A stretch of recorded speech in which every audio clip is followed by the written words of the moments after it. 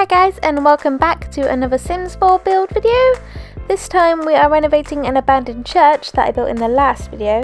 So if you haven't seen that video I'll put a card in the top right hand corner and you can check it out.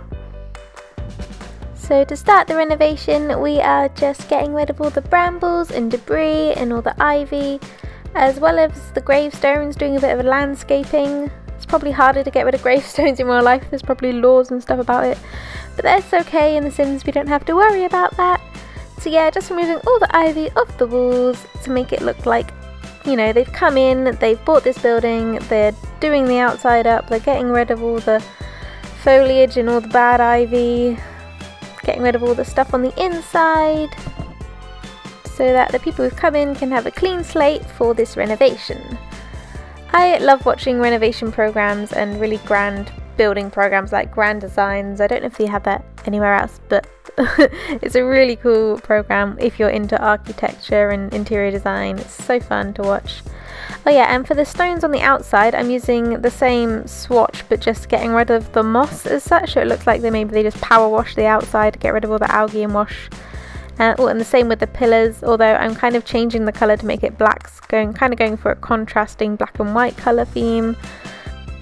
Yeah, it's currently raining as I'm recording, so apologies if you can hear that. It's pretty loud, but um, I actually like the sound of rain, so I wouldn't mind. but you might mind, if so, I'm sorry. But yeah, going for lots of like uh, glass and stone, and again, like I said, black and white, so it's really contrasting build. Putting in some nice modern doors to go against the old stone.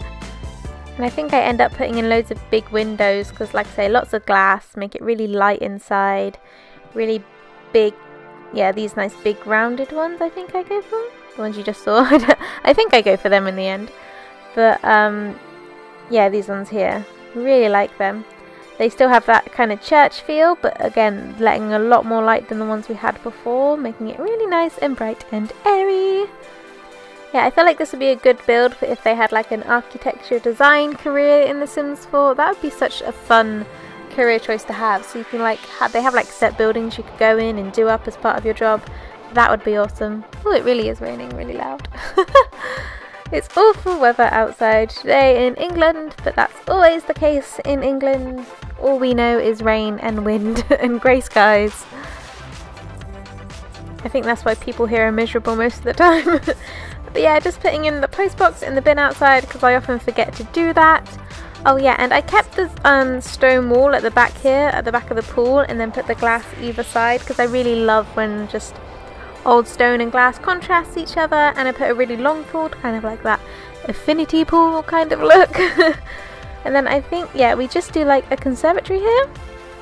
Again, just adding lots of glass. I don't think I went for that shape in the end because I am too lazy to roof it. So I went for a more boxed conservatory yeah, I love the fact we now have glass roofs in The Sims 4. It's so amazing. I don't think we've had that before in The Sims. Well, not that I can remember anyway. I could be wrong, correct me if I'm wrong, but no, I don't remember us having glass roofs before. I think the glass roofs are really fun and interesting to play with. I'd love to see what some people come up with with them. Like I've seen people do skylights and stuff and I think that's so clever.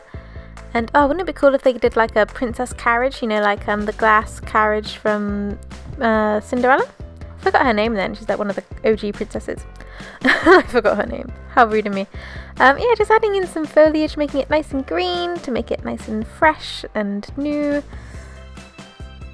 Like they've come in and like re-landscaped the whole place, which would be super awesome. And totally something you would do if you were renovating a new building. you would take care of the outside as well as the inside. So yeah, making it look nice and modern, very clean lines, lots of glass, like I say, the water reflecting as well. It's a really pretty build, I think. You can find it on the gallery. I will put uh, my name in the description below so you can go find me.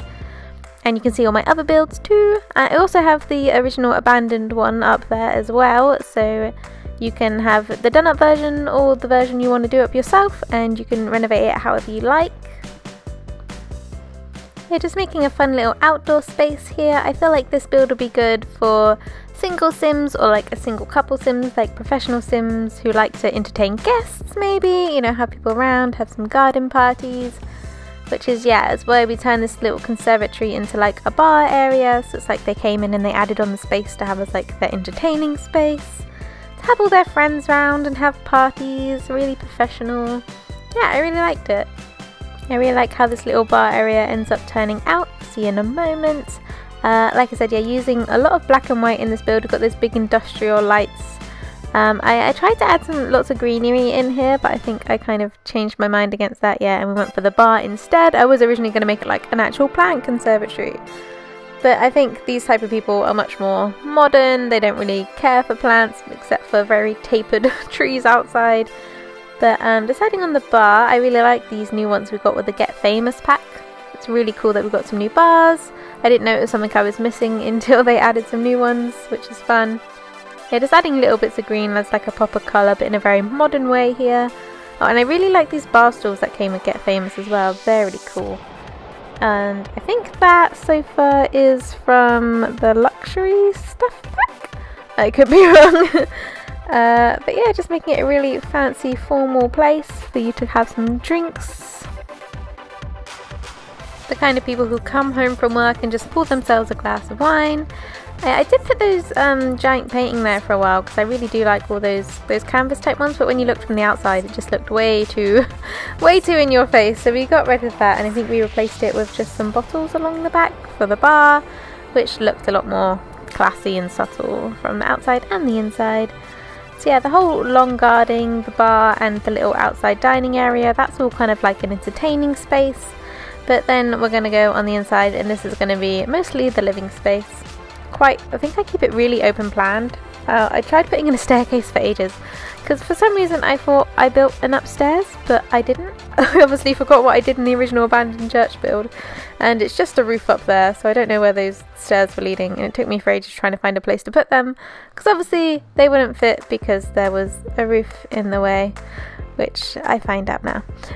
so I left that bit in because life is full of mistakes and me trying to build is one of them. But yeah, moving on to the layout, I think the only thing I wall off is the bathroom. I think everything else is remained open planned. Uh, except I believe maybe a half wall for the bedroom to kind of give it a bit of privacy. But yeah, just doing that really kind of weird fun shape for the bathroom there which made furnishing it quite interesting. But I didn't want to like block off too much, I want to keep it very flowing, very open plan. Yeah, I've had real fun doing this build, I had some real fun furnishing the inside and doing the layout.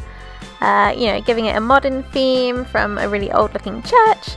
So I think I might do some more renovation type builds in the future and uh, if you want to see more renovation type builds from me then click the like button down below and I will know that that's what you guys want to see.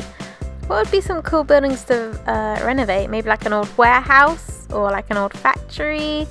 Or, oh, we could do like a lighthouse. That'd be cool. That'd be cool in Brindleton Bay because they have a lighthouse, I think. So that'd be fun. Yeah, it's kind of like endless possibilities in The Sims. But also, some things you're kind of limited on. Like if you're trying to recreate something, and obviously without CC, you can. It can be hard with the limited objects we have. But you can't include everything. Otherwise, it'll be a huge, huge strain on all of our computers. But yeah, uh, we're doing the kitchen now, and I really like these counters. I think they're from the Spa Day pack, and I kind of include them in that pillar there to make it look like they're built around it, which I thought was really fun. Keeping it, like I said, really black and white, really sleek, really modern.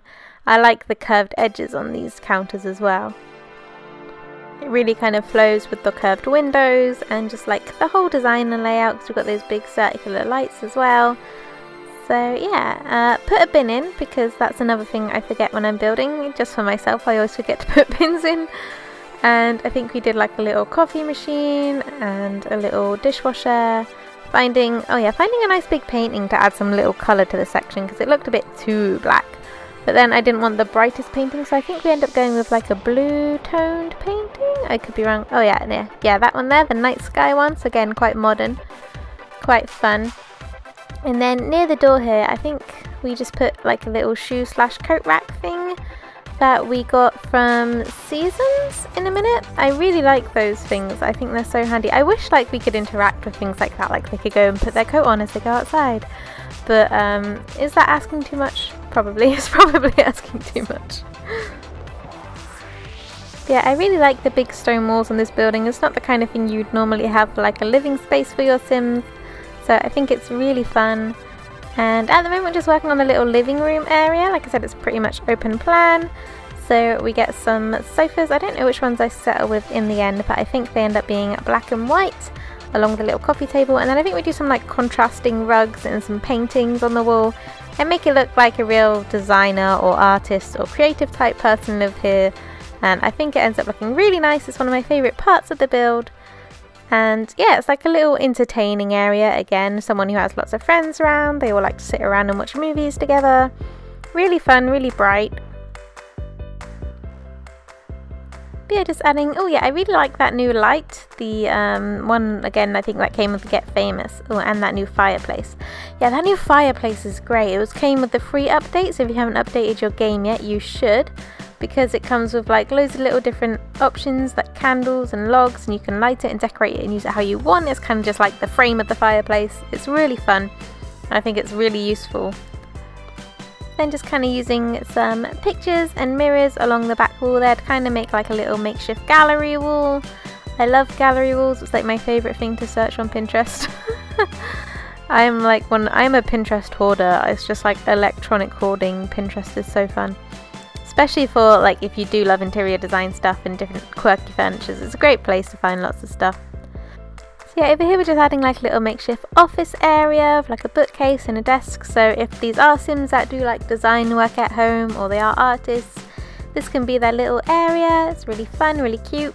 We had a pop of colour using the red lamp and the red painting there. Uh, I think it's not a painting, it's like a movie poster, but still it's fun. Ties it all in and it goes nicely with the pinks on the little living room side. But yeah, just adding some colour into the build, and like I said, keeping it mostly really contrasting, so black, whites, reds, just really contrasting colours. Then I think we go on to the bathroom, which like I said, because of the shape I made it, was uh, interesting to furnish, though I think we get everything in there. Um, not the most exciting room in the build, but it will get the job done. it will be used for all their needs and it's functional and they can all fit in there, so that's fine. Just keeping it pretty clean, fairly modern, like with the rest of the build. So yeah, pretty plain. We got like a rug and I think we put a painting in there and some towels. So it's not too plain, but not too exciting, nothing fancy. And then, oh yeah, little toilet roll holder. They need that. That's important. Can't be caught without that. And then, yeah, then we go into the bedroom area. It's a double bedroom, but it's like a little one bedroom build. It's all like on one level, so it's kind of like a bungalow church. But um, you could always add another room or another floor if you wanted to. Uh, but yeah, this will be up on the gallery for a download. And like I said, so will the previous abandoned version as well. So you can renovate it yourself or you can have my renovated version. And yeah, if you like this video, don't forget to give it a like. And if you haven't and you want to, please subscribe to my channel. And let me know down below if you want to see any more renovation builds, like before and afters. I think they're pretty fun to do. And let me know if you've done this before yourself. And let me know if it's up on the gallery and I can check out your work. That would be super fun. But yeah, I really like how this bedroom turned out as well. We've got like the warm pink tone on the back and lots of dark browns, keeping it nice and warm and neutral. Uh, just adding like little plants and rugs. And I think we put some nice paintings from uh, uh, cats and dogs along the back wall there. And yeah it's really fun I think. It's really kind of modern warm inviting nice little cozy space in the big open plan room. Nicely tucked away there. But yeah that's the build. I think we're going to go into some screenshots so yeah if you like this video please leave a like and I will see you next time. Bye